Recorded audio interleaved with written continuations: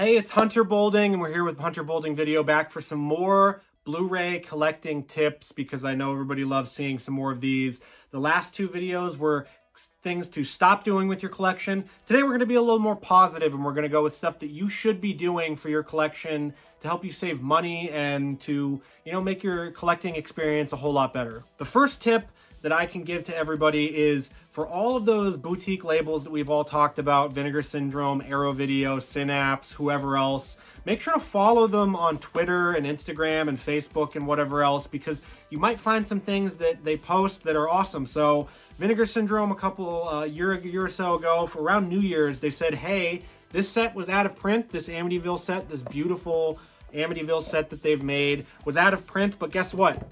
We found more copies of it in our warehouse, and we're going to put them up on our website at New Year's Day, midnight, to get them. So make sure you follow them because you'll get so much information. You'll get new releases, old releases. Sometimes the Scream Factory will be like, hey, guess what? We've got Army of Darkness back in stock. So you don't have to pay $80 for the Blu-ray like I did.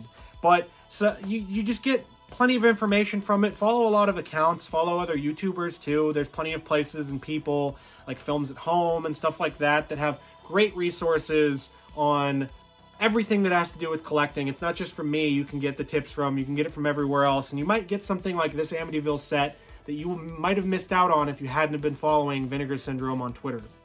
Something else that I can sort of give you as a tip is you know, you don't have to find your sort of collection mentor almost or whatever, but find some people that you really trust that'll give you some recommendations that might be a little off the wall. So here's Split, and you can get still get this Region A Blu-ray, and this is just an insane movie that if I hadn't have subscribed or watched other people's YouTube channels like Zaran Isaac, who's, you know, my quote-unquote YouTube mentor or whatever, that I would never have watched this movie. I would never have found out about Verboten Video here, and gotten this movie and watched it, and it's just a wild ride. And so, you know, there's stuff like that. There's people that you watch on YouTube all the time that you get sort of collection, you know, advice from and stuff like that or news. And so just make sure to broaden your horizons when you're watching stuff and watching videos.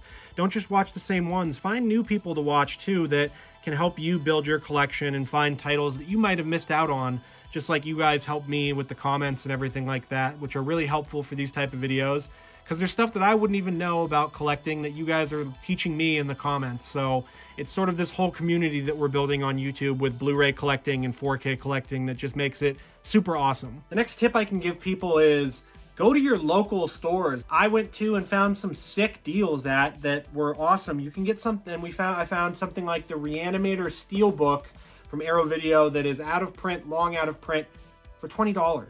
So I I had a normal sort of bare bones edition of Re-Animator. I didn't own this one. If I owned the normal Arrow one, I would have upgraded this for $20 because this is just absolutely, you know, mind-blowingly fantastic, mind-blowingly awesome to get. And you get the booklet and you get the disc and you get everything in here. So you know, take a look at those stores. And I know some people have said like pawn shops and stuff like that. You might not find collectors stuff like this at pawn shops, but go try to find if there's any sort of, you know, retro game stores that might have Blu-rays or just retro media stores in general, record stores, stuff like that. And you might find some prices and some deals on stuff that you wouldn't expect that you'd have to go and hunt on eBay for this or from collector's prices. So always go check out those stores that you might have around you and you might meet some people you like. You might learn some new things about collecting and you might find a sick deal like this one. Here's something that connects to that like sort of following people on Twitter. You know, if you have don't have a Twitter account or you don't have you don't use it very often, it's kind you're kind of handicapping yourself because there's sometimes people will post sick links to stuff that you might never watch. I never knew that Ghostwatch existed, let alone this excellent, excellent edition from 101 Films. Uh, so you get you know, a sturdy, like, I keep saying this about boxes, how sturdy they are. This thing is the sturdiest box I've ever seen on a Blu-ray. And you get just like a booklet here with everything and with full color essays and stuff like that. You get lobby cards. You get another whole just ass book with the script and everything in it. This is an amazing, amazing release of Ghostwatch. And Ghostwatch, if you haven't checked it out, is like the precursor to sort of, you know, found footage, sort of news style documentary horror stuff and that aired on the BBC with the actual, you know, news sort of broadcast feel. So this is an absolutely awesome one. And I would not have found out about this release if I hadn't have been following other collectors and other people that have the interest of Blu-ray collecting online because this would have just gone under the radar. And so then I ordered it and here we are. I have one of my favorite horror movies now in Ghostwatch. This is a just bigger sort of collector sort of tip here. And that's just, if you're buying stuff and you're buying movies, just every once in a while, don't just go straight to the review for it. And I know that's me saying like, oh, hey, don't look at my reviews of stuff or other people's, but I'm not saying that necessarily. I'm saying before you go and look at a review and find, you know, oh, the movie might be bad or whatever, look up a review of the movie. You know, that's why I love Vinegar Syndrome so much because I can just kind of turn off my brain when I'm scrolling through and go, hmm, you know, that's a pretty cool cover on a movie. I'm, I'm going to grab that. Or, oh, that's a Christopher Walken movie I've never seen. I might have missed out on something like All American Murder if I would have looked up reviews of it beforehand and this excellent release from Vinegar Syndrome because this movie, it might not be the best movie in the world, but it's an American Giallo film. I watched the trailer.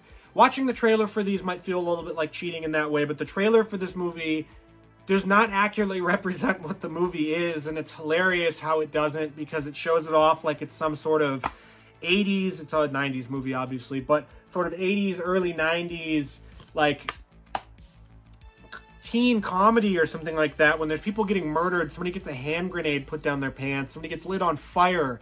And so you might miss out on stuff like this if you go and you just look up reviews of everything instead of going by your by your first impression. So it really, for me, it feels like it's replicating that old video store type feel from when you were a kid or whatever and you're scrolling through and you grab a movie on the shelf and you go, wow, that is Christopher Walken in it. I've never seen that before.